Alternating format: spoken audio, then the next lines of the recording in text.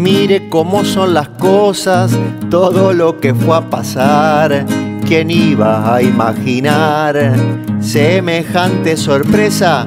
A todos nos atraviesa la locura del mundial. En la primera fecha a las 7 de la mañana casi se me van las ganas al ver al equipo perdiendo. Ya arrancábamos sufriendo, la copa se hacía lejana. Después seguimos camino, todos elegimos creer. No había otra cosa que hacer, anulando toda mufa. La escaloneta se enchufa y la entraron a meter. Qué manera de sufrir, fue partido por partido, el equipo estaba unido y de a poco fue avanzando. Ya me estoy emocionando al recordar lo vivido. México con dos goles y el enojo del boxeador.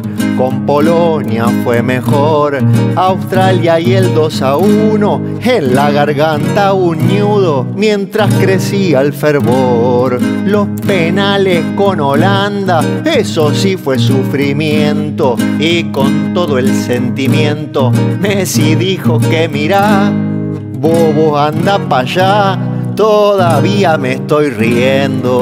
Croacia fue más tranquilo, la hinchada meta a cantar, abuela la la la la, y a un nenito que asustaron, arroz con leche le cantaron y lo hicieron tranquilizar.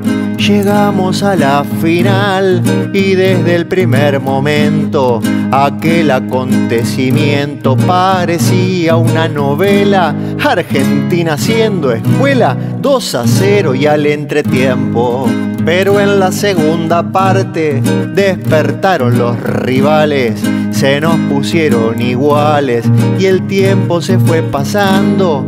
Así es que fuimos llegando a definir por penales.